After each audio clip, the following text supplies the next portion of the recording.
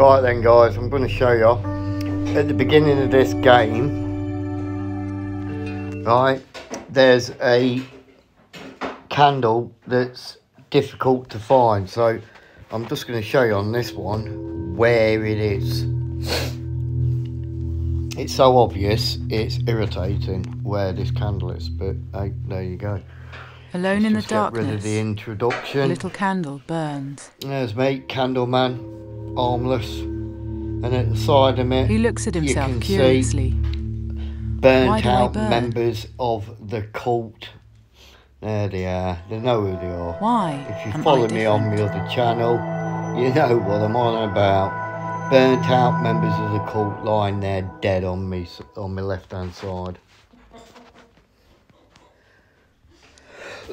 right, so normally, first of all, if you keep doing that, you're going to burn your candle down.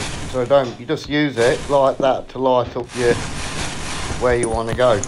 So don't run around in the dark every time it gets a bit dark. Just quick flash jobs are good. In. Now, obviously, you, you, you go down here, but you, that's not where you want to go. You'll miss this candle, like I did. Well, there's a room behind where you start.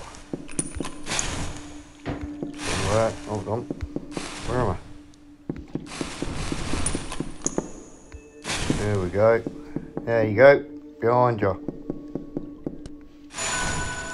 Boom shaka. There you go. Nice big mirror there. Nothing else here, just the one candle, as far as I'm aware. But that's where it is. Your first candle. You'll miss that, you'll get right to the end. And you'll miss it. That's one of the uh, hard to find candles, as, as they would say. Then just follow yourself. The idea of this wax on the floor here is so you can follow your way back without lighting your candle. You know what I mean? So I'm just going to show you, look. And then you go into this room, don't you? That's where you start there. And if you keep doing this, burning your candle, you're going to die. Yeah. Better to burn out than to fade away. so yeah, that's it guys. I'm just uh, showing you that bit.